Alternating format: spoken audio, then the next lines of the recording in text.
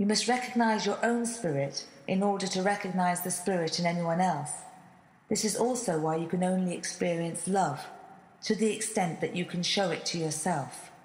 If you deep down loathe yourself, feel you do not deserve much, and think you are missing a vital part that might make you human or lovable, then you might want to start exploring the question what is love?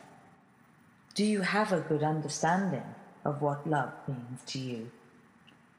I mean, if you are currently being abused around the clock by everyone you meet, again, you are up against a twisted understanding of love. Love comes in many forms that all have their merits, but in short, it is a willingness to be present and pay attention.